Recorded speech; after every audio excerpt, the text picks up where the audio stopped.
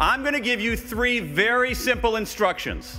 Instruction number one identify your dominant hand. Instruction number two with your dominant hand, snap your fingers five times very quickly.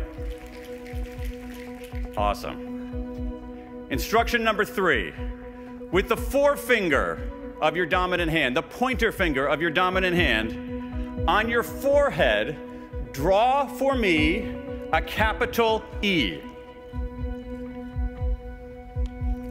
Excellent. This is an experimental technique that social psychologists have used since the early 1980s to measure what's called perspective taking the ability to get out of your own head and see things from someone else's point of view. Snap your fingers five times quickly. What's that instruction about? Nothing. It's just a distraction. Finally, you get to the part that the researchers really are looking for, which is this. There are two different ways to draw the E. All right, I can draw it like this, so you can see it, your perspective, or I can draw it like this, so I can see it, my perspective. Put people into an experimental setting, control for handedness, make them snap their fingers, ask them to draw an E. What do they do? Do they take their own perspective? Or do they take someone else's perspective? If you drew the E from your own perspective, it doesn't mean you're a bad person. Because what really matters here is context. In general, the more powerful people feel, the more their perspective taking abilities degrade. All of you are about to become more powerful. Some of you will begin drawing the E differently than you drew it today.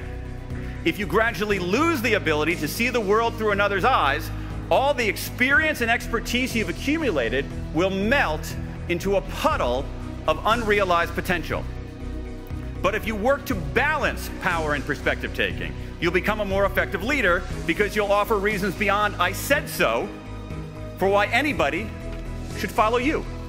You will avoid what could be the biggest mistake that bosses, teachers, executives, government officials, and anyone else in a position of power can make.